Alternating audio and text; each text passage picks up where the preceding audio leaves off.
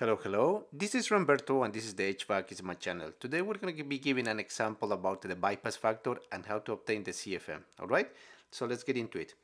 So to begin with the bypass factor as we explained in the other video is how efficient is the coil but actually that efficiency is the contact factor and the contact factor is 1 minus the bypass factor. So the bypass factor mean like it is an imperfection or inefficiency of the coil. Okay, so but let's put that into simple words. So what we have in this example is a 5 ton air handler unit and the temperature readings are temperature of the return side right here and temperature of the supply side right here. So this is return, this is supply, and this is the ADP. The ADP is the apparatus dew point, which is pretty much the temperature of the coil, all right?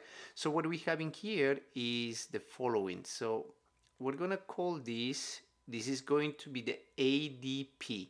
And as we saw in the other video, we call this ADP with a different variable. We're gonna put that in red. So ADP for us is going to be temperature three, three, okay? Now we're gonna put in here temperature of the return side, we have in here temperature of the return.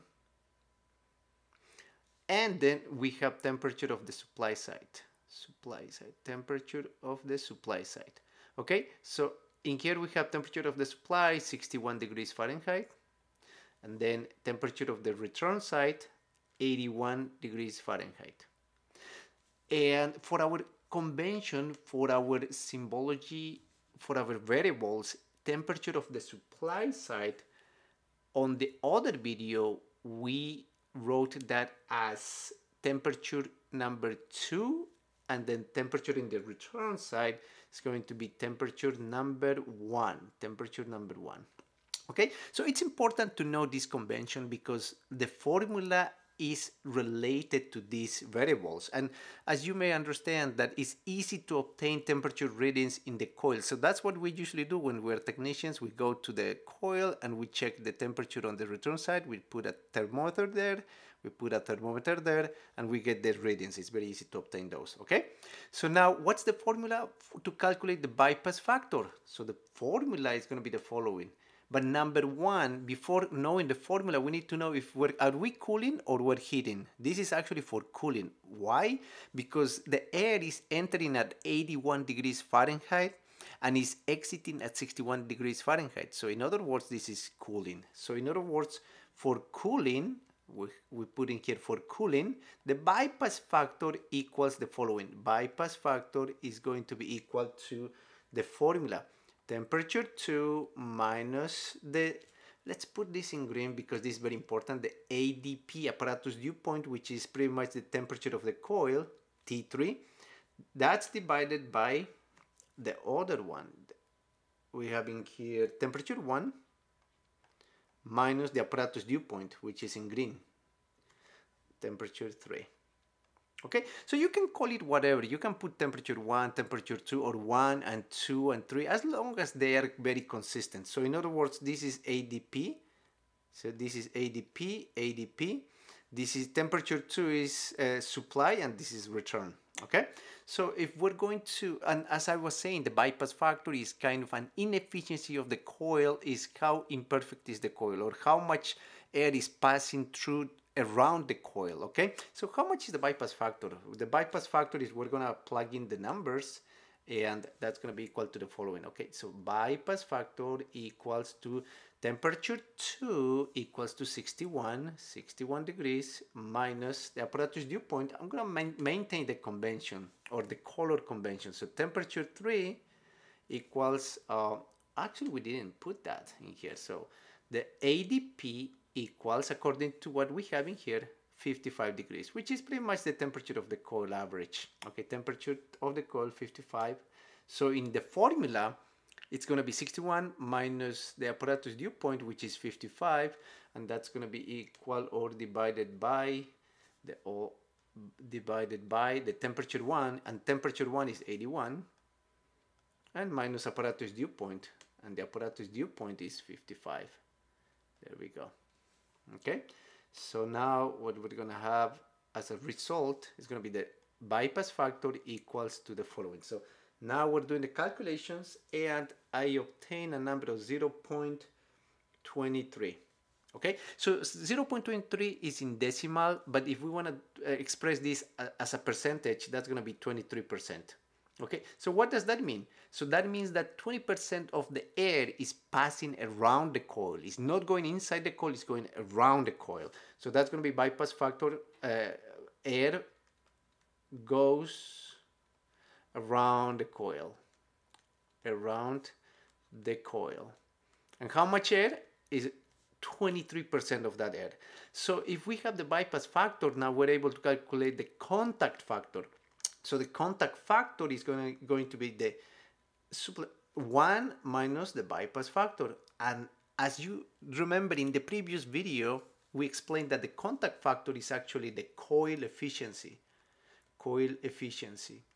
And the coil efficiency is denoted also sometimes by the Greek letter eta efficiency efficiency coil efficiency so eh, you know since we're calculating this let's just calculate this 1 minus bypass factor which is 0.23 and that gives us a number of contact factor 0. Point, um, if we do the math 77 right so in other words that's going to be 77 percent so the coil itself, so that, that's why it's so important. So let's put this in pink. Bypass factor is 23%, which means 23% of the air goes around the coil and the rest, which is 77%, goes within the coil. So that's why it's 77% efficient, this coil, okay? So now that's the bypass factor, that's the contact factor, and this is the, this is the apparatus dew point. And now what we're going to calculate is the CFM. And then for the CFM, we have a five ton unit.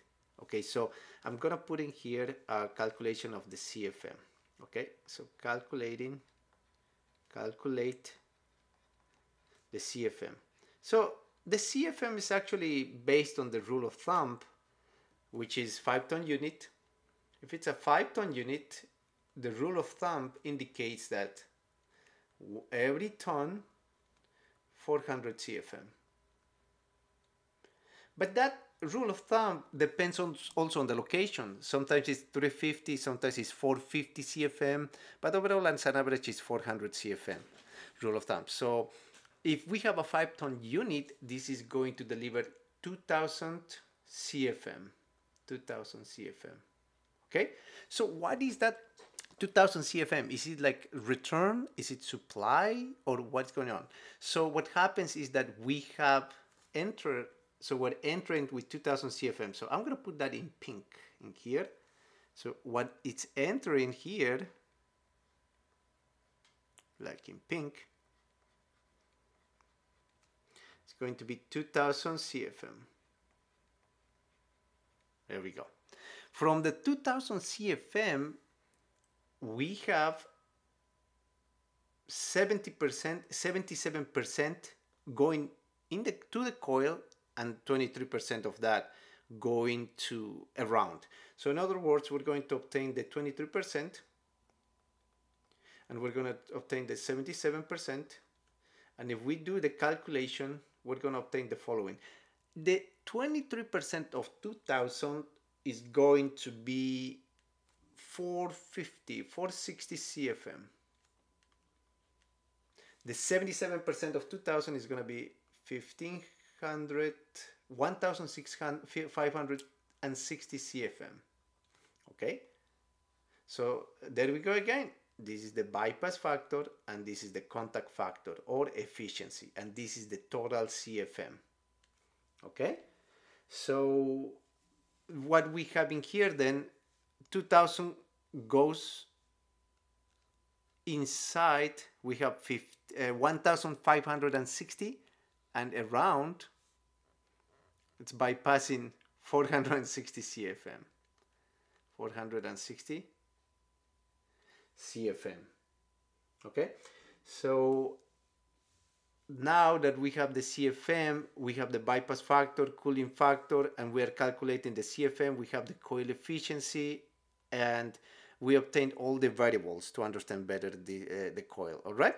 So one last thing to mention is, um, I'm gonna put this as a rectangle in a, I'm gonna box this because this is the formula pretty much.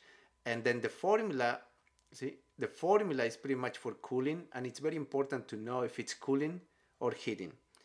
And um, the temperature two and the temperature one are the only va uh, variable that you variables that you need to know. In this case, temperature temperature two is the supply temperature. See, and here we're putting supply.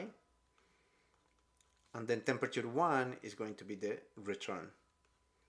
So in order to obtain all this information, you only need the supply return. Well, the ADP could be assumed that is the coil at 55 degrees Fahrenheit or say 50 or something around that, that. So that's gonna be temperature 3 and this is the apparatus dew point. Okay?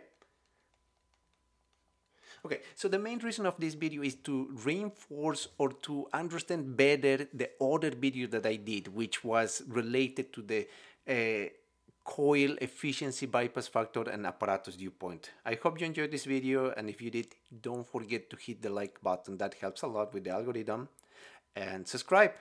Thank you very much.